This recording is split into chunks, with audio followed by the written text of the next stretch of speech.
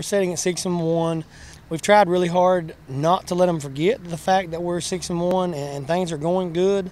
Uh, but we also try to put in their mind that it could very easily end up, you know, with some losses here if they don't stay focused and they don't work hard.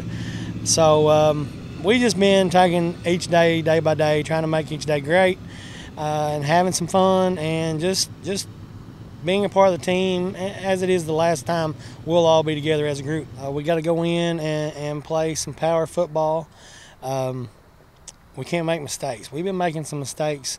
We've been hurting ourselves on the penalty side in the last couple of games. We gotta we gotta play more discipline and, and, and come out strong and play a good, flawless football game. Just gonna work hard this week and give everything we have. You know, it's the last time we get to prove that we're the only team in the county to beat them in like 52 years.